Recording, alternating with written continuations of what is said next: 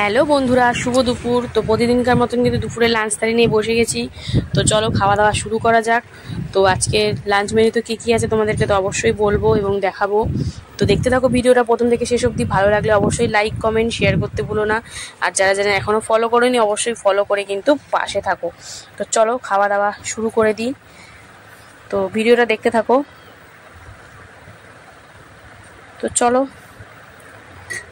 আজকের দুপুরের মেনুতে কিন্তু একদমই সিম্পল মেনু তো দেখো, এখানে লাঞ্চ থালি সুন্দর করে সাজিয়ে নিয়েছি। প্রথমেই রয়েছে গরম গরম ভাত। এখানে রয়েছে এঁচড় চিংড়ি, যেটা গামাকা গামাকা করে করেছি। আর রয়েছে কিন্তু সর্ষে পাবদা। তো চলো, খাওয়া দাওয়া শুরু করে যাক।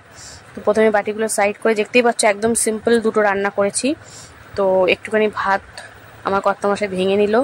এবার এর মধ্যে কিন্তু এঁচড় চিংড়িটা ঢেলে দিচ্ছে, দেখো। মানে একদম কচি এঁচড় দিয়ে, চিংড়ি দিয়ে কিন্তু করা হয়েছে।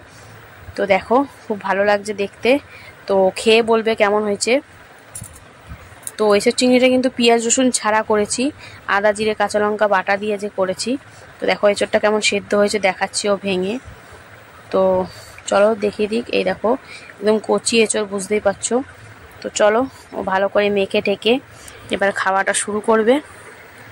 একটু এঁচড়, একটু আলু দিয়ে তো ভালোই লাগছিল খেতে। তো যেহেতু চিংড়ি দিয়েছি, ওই জন্য পেঁয়াজ, রসুন দিইনি। চিংড়ির যে সুগন্ধটা, সেটা পাওয়া যাবে না পেঁয়াজ, রসুন দিলে। তো একদম সিম্পলভাবে করেছি, আদা, জিরে, কাঁচা লঙ্কা, বাটা দিয়ে। দেখো, চিংড়ি মাছ দিয়ে এঁচোড়, রেড তরকারি, তো কর্তা মাসে তো খুব ভালোভাবেই খাচ্ছে। তো তোমরা দেখতে থাকো ভিডিওটা।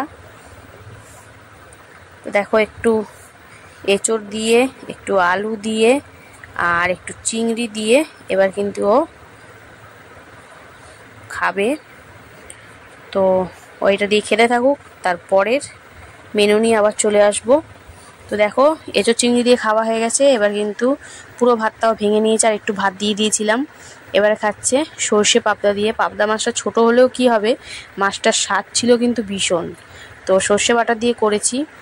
আর কাঁচা লঙ্কা দিয়ে একটু পেঁয়াজ ফোড়নও দিয়েছিলাম। তো একদম গামাকা গামাকা করে করেছি, দেখতে পাচ্ছ। তো এই একটু গামাখা না করলে ভালো লাগবে না খেতে। তো একদম গামাকা গামাকাভাবে করেছি। তো মশলাগুলো মাছের থেকে ছাড়িয়ে সুন্দর করে ভাতটা মেখে নিচ্ছে। তো এই রেসিপিগুলো তোমরা পেয়ে যাবে। এঁচড়ের রেসিপিটা আর এই পাবদা মাছের রেসিপিটা তোমাদের সাথে আমি শেয়ার করব। তো রেসিপিগুলো দেখতে হলে অবশ্যই কিন্তু পেজটা ফলো করে নিতে হবে। তো প্রথম বাইটটাও মুখে দিয়ে দিল, এবারে মাছটা তোমাদের ভেঙে দেখাচ্ছে। একদম ফ্রেশ মাছ, ছোট মাছ হলে হবে কি? বললাম না মাছটার প্রচণ্ড স্বাদ। আর পাবদা মাছে তো জানোই, কাটা থাকে না, মাছটা খেতে ভালোই লাগে। তো আজকে তোমাদের খাওয়া দাওয়াটা কেমন লাগল অবশ্যই কমেন্ট করে জানাবে। ভালো লাগলে লাইক করে কমেন্ট করে পেজটা ফলো করে পাশে থেকো। সবাইকে, টাটা!